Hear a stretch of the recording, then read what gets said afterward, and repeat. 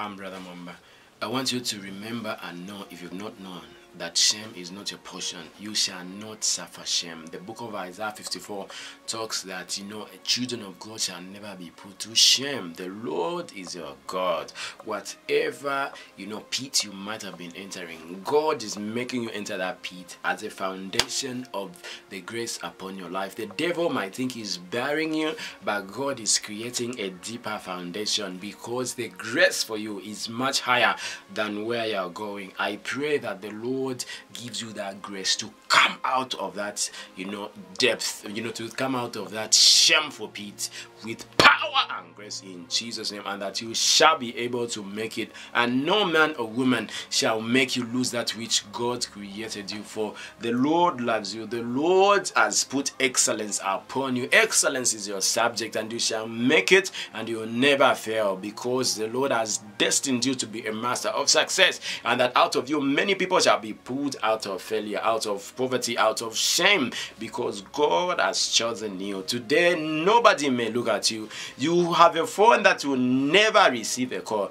But wait, a time is coming when calls shall come as the Lord shall lift you to lift many in Jesus Christ's name. Some of you might have been ridiculed by your families, by, you know, sometimes the church, sometimes by society. There's a day of reckoning for your life, and God will never fail to make it known.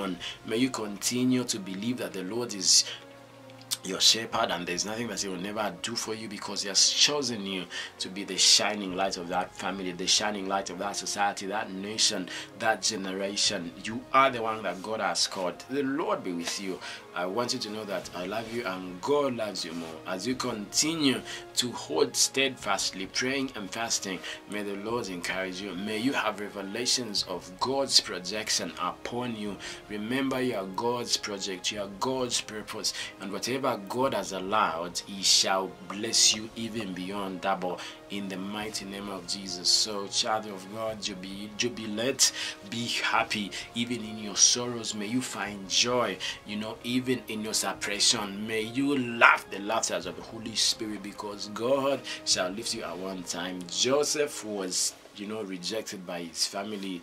You know he was put down. He was taken to prison sold as a slave. You know he was a prison warder and yet he was a man of righteousness. You are not suffering because of sin. It could be that you are in the projection of the lord. If you are suffering because of sin when you cry unto the lord for his mercies god's grace shall dawn upon you and god shall be able to you know redeem and lift you up in the mighty name of jesus. So I want you to know that you are not alone. The Lord is with you. I love you, I'm Brother Mwamba.